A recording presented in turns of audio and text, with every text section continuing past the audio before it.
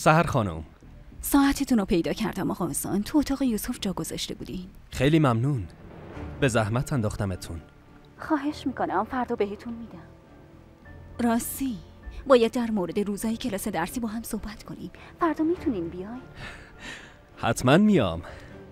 پس به امید دیدار. ناراحت به نظر می‌رسین. یعنی صداتون. تون صداتون خیلی خسته است.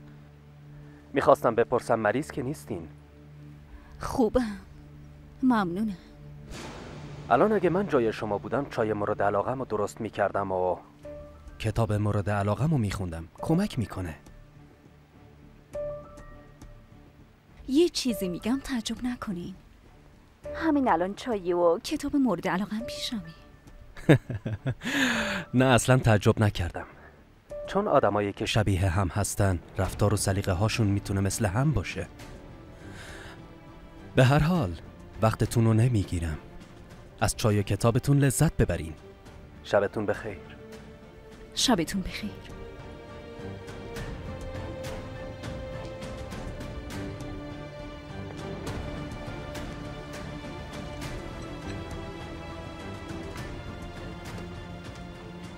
چیزی نمونده عزیزم.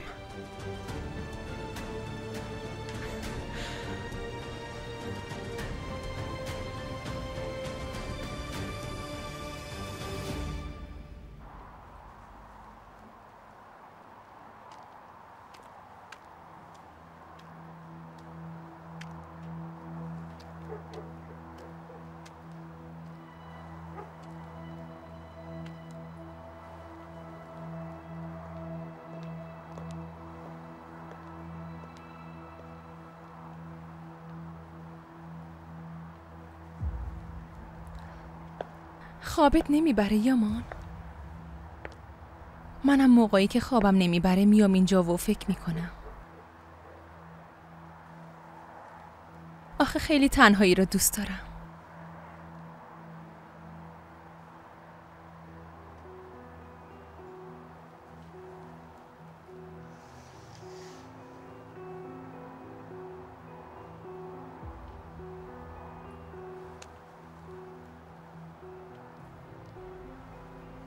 بعضی وقتها تنهایی خیلی خوبه.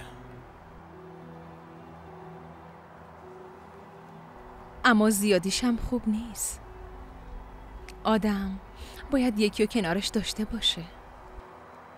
اما تنها بودن به من که خیلی کمک می‌کنه.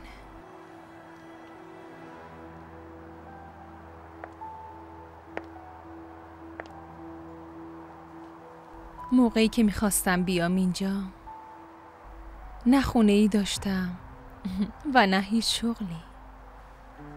اما الان هم شغل دارم و هم یه خانواده خوب. در اصل من اینا را مدیونه.